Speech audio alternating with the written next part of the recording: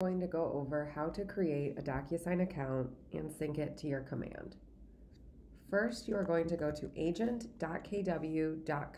which will bring you to this page where you will put in your login for MyKW.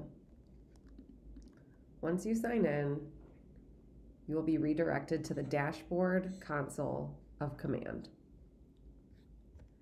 We're going to go to the top right corner where your name and photo might be and select the drop down.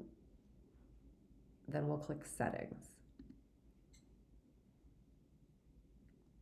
Once in settings, you'll see that there's a lot of different applications you can have set up to sync to your command account. We're going to go down to digital signatures and transactions.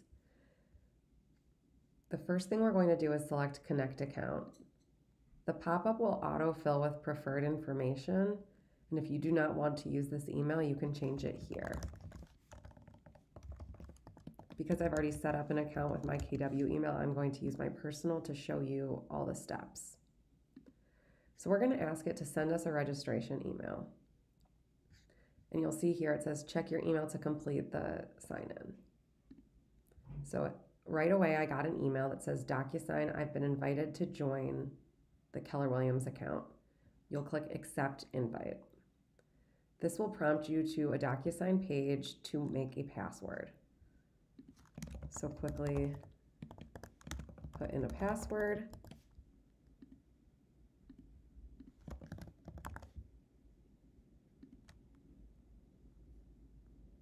And a security question.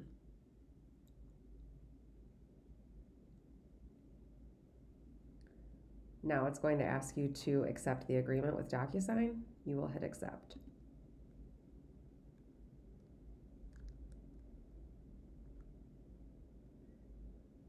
This then takes you to the DocuSign dashboard where your rooms and documents will live.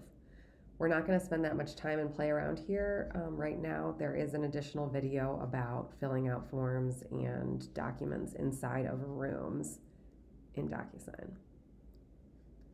What we will do now is go back to command and you can see here it knows that we are in progress. If you did not get the email, you can select resend email here or you can authorize your account, which is what we're going to do.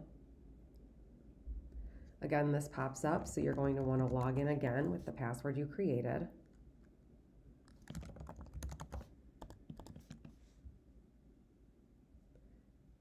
And then select accept.